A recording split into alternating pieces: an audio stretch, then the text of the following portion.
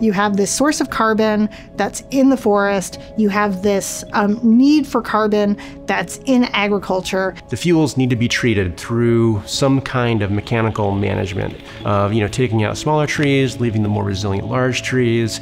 Oftentimes, this material is piled up in the forest and, and then burned. That carbon that's, that was locked in that material is now released back to the atmosphere. We have this carbon residue problem, right? We got to get it out of the forest so the homes and the people and the infrastructure that's up there isn't damaged on the next forest fire, right? So that's the problem, right? So what are we going to do? Are we going to just pile it and just let it sit there? Are we going to pile it and burn it? For the last century or so, last 100 years, We've been suppressing fires all over the western United States. And so what we're left with is this breeding ground for insects and disease and then also wildfires. 20 of the state's largest wildfires recorded in the state's history happened since 2001. The top three largest all occurred in one year in 2020.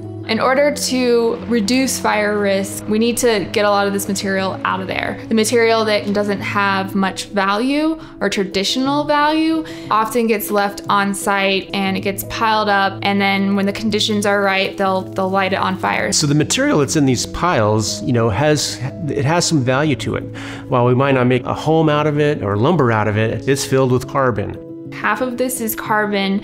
Instead of letting it burn in a slash pile, what if we were able to do something with that waste? What if we could turn something like this into compost? That carbon is still here, it's just in a new form. Well, if we can compost it, then why not? That then becomes the same as manure compost, right? As plants grow, they take carbon out of the air and put it into their shoots and their roots. And so they sequester atmospheric carbon in the plant itself. And then that carbon can move from the leaves to the roots to the microbes into the soil where it can stay for decades to millennia, depending on the form of the carbon. We are exporting carbon when we harvest, right? We need to replace that carbon somehow in order to keep the soil in health.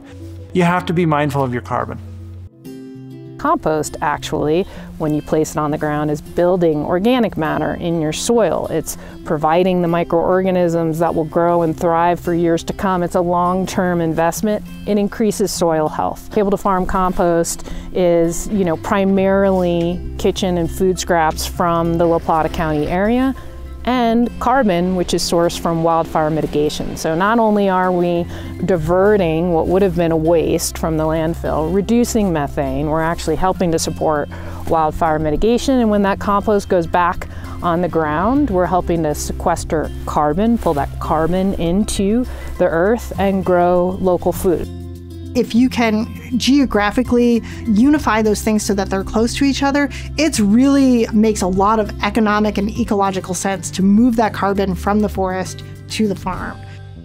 One of the problems we have is we have a lot of land and a lot of trees. This was a real fire danger. The trees, obviously, they absorb all the carbon from the air, which is a great thing, but when it comes to fires and everything moving through and they burn, it'll end up back in the air. So what we are trying to do is restore it back to what it was before and take some of the carbon out and actually bring it down to the agricultural side and turn it into compost and put it back into the soil instead of going back up into the air again. I have been really happy working with the people that are doing the logging here. They have been absolutely awesome to work with, been really happy with them.